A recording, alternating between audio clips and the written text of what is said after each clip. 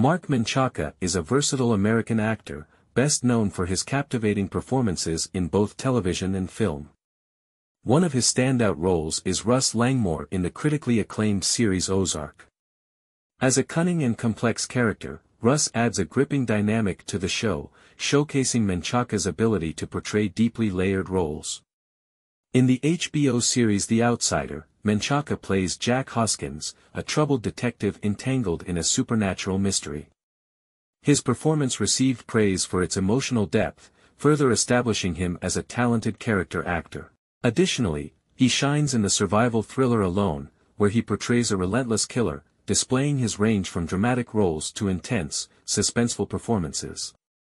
Menchaca has also appeared in popular series like Curb Your Enthusiasm, where he takes on a quirky role that highlights his comedic timing.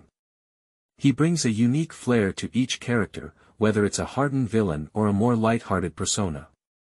With appearances in films like No One Gets Out Alive and Sick, Menchaca continues to build an impressive resume, proving that he can thrive in various genres. As he expands his body of work, audiences eagerly anticipate what this talented actor will take on next. Thanks for watching. Please support us by subscribing to our channel.